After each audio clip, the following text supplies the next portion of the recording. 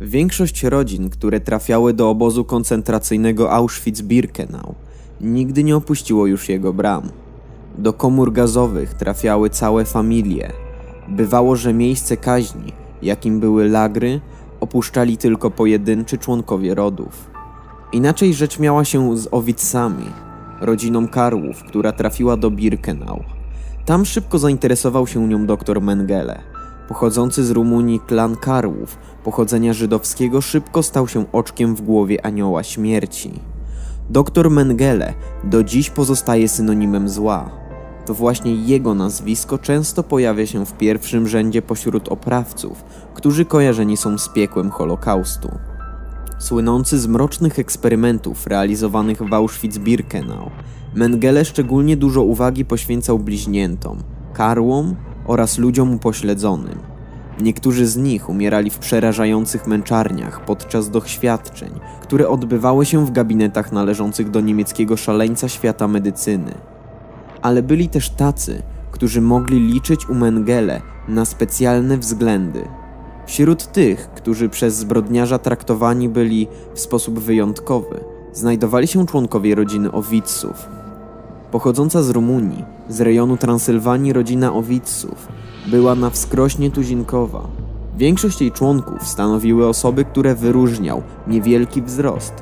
Niektóre ze źródeł podają informację, że ze względu na liczbę karłów, rodzina Owiców należała do swoistych rekordzistów. Głową rodziny był Shimson Eizik Owic, który spłodził dziesięcioro dzieci. Siedmioro jego potomków z dwóch małżeństw było karłami. Najmłodsza była Perla, która urodziła się w 1921 roku. Matka, która się nimi opiekowała, wiedziała, że dzieci nie poradzą sobie w życiu, na przykład uprawiając rolę. Szybko okazało się jednak, że większość z nich ma dar rozśmieszania ludzi. Zamiast szukać angażu w cyrku czy grupie teatralnej, Owidsowie założyli swoją własną trupę. Nazwali ją Trupą Liliputów. Przez 15 lat zespół występował w środkowej Europie, systematycznie zyskując coraz większą popularność. Potem przyszedł jednak czas wojny. Od czasu, gdy Hitler zaczął realizować swój szatański plan, los rodziny Owidsów wisiał na włosku. W dużej mierze przez akcję T4, program, którego celem była eksterminacja ludzi chorych psychicznie, niedołężnych lub zmagających się z dolegliwościami neurologicznymi.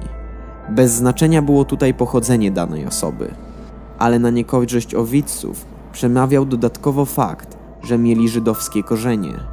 Większość z nich, 12 osób, trafiło do obozu Auschwitz-Birkenau 19 maja 1944 roku. Najmłodszy przedstawiciel klanu miał wtedy 18 miesięcy, a najstarszy 58 lat. Ich pojawienie się w obozie wzbudzało niemałe zainteresowanie. Strażnicy, którzy nadzorowali kolejne transporty więźniów przebywających do Auschwitz-Birkenau, mieli odgórne zadanie wyłapywać bliźnięta, karły, osoby cierpiące z powodu innych zaburzeń wzrostu czy ludzi otyłych. Strażnicy, którzy wytropili w tłumie owidzów, znając zainteresowania doktora Mengele, postanowili niezwłocznie go powiadomić o nowych, niecodziennych przybyszach.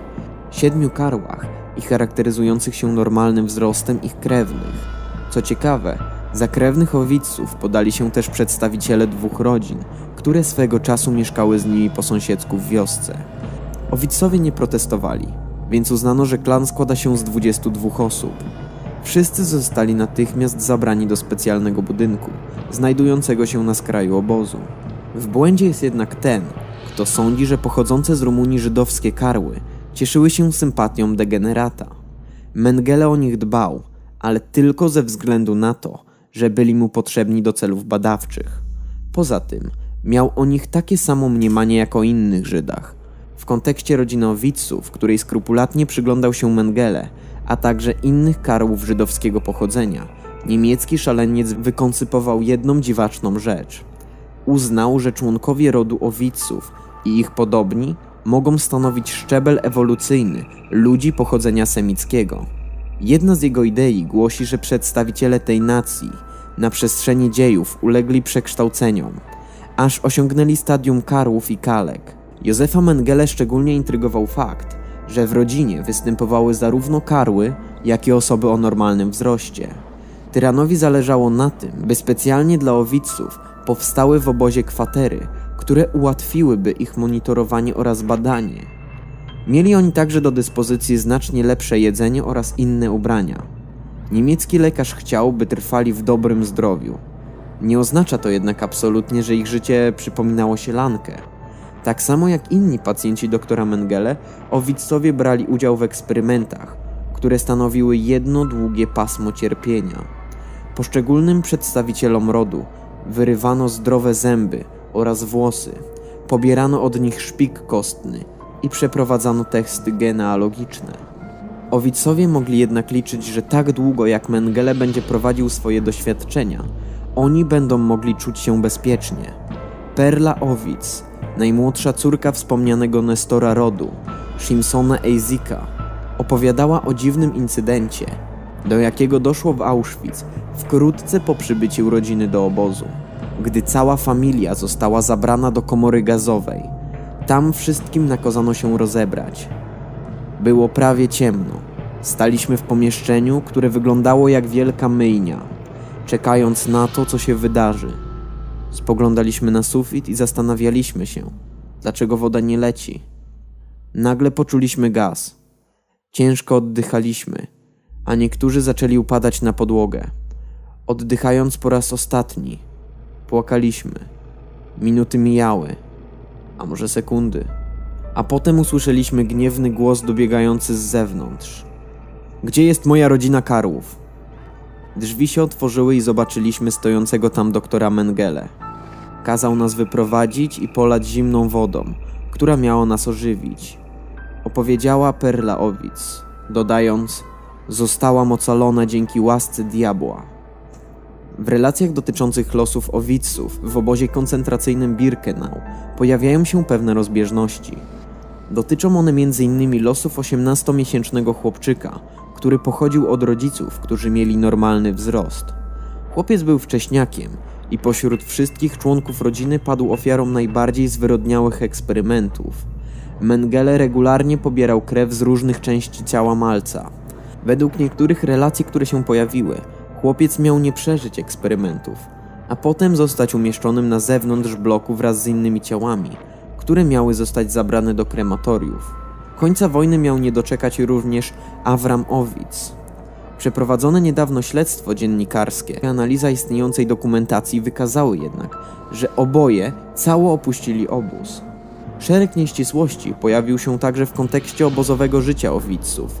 Znaleźli się świadkowie, którzy twierdzą, że członkowie wszechstronnie uzdolnionej artystycznie rodziny Karłów odpowiedzialni byli za zapewnienie rozrywek dla Kapo oraz SS-manów ale Perla Owic wyparła się w jednym z wywiadów, by ona albo ktokolwiek z jej bliskich brał udział w organizacji nocnego życia.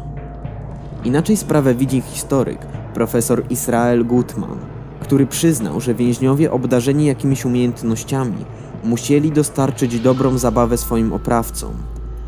Także piosenkarka Fania Fenelon, która była więźniarką obozu, powiedziała, że takie rzeczy były w obozie codziennością. W swojej autobiografii Playing for Time zasugerowała nawet, że Owicowie, tak samo jak ona, brali udział w wieczorach kulturalno-rozrywkowych. Dziś nie można wykluczyć, że wszyscy członkowie rodziny Karłów zginęliby po tym, jak Mengele skończyłby swoje eksperymenty. Szczęśliwie dla nich doczekali się wyzwolenia obozu. Wszyscy oni trafili potem do zorganizowanego przez Sowietów obozu uchodźców, skąd potem zostali uwolnieni.